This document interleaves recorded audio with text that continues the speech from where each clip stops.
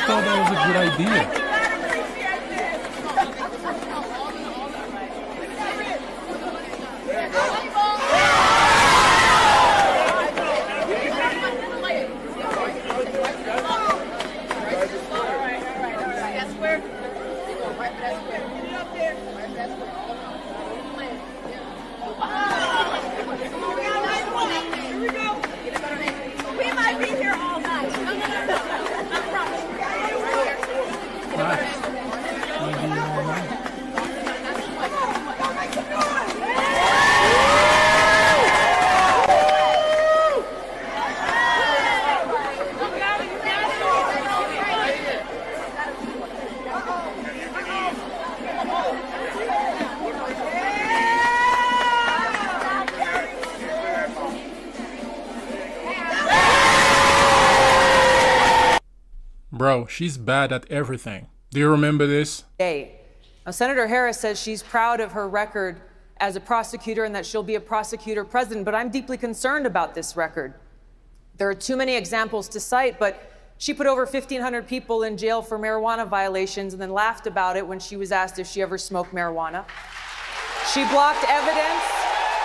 She blocked evidence that would have freed an innocent man from death row until the courts forced her to do so. She kept people in prison beyond their sentences to use them as cheap labor for the state of California. And she fought to keep cash you, bail system in. Bottom line is, Senator Harris, when you were in a position to make a difference and an impact in these people's lives, you did not. And worse yet, in the case of those who were on death row, innocent people. You actually blocked evidence from being revealed that would have freed them until you were forced to do so. There is no excuse for that. And the people who suffered under your reign as prosecutor, owe, you owe them an apology.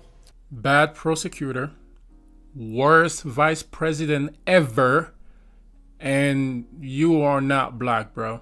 The way you were shooting that ball, you are not black. Yeah, nope.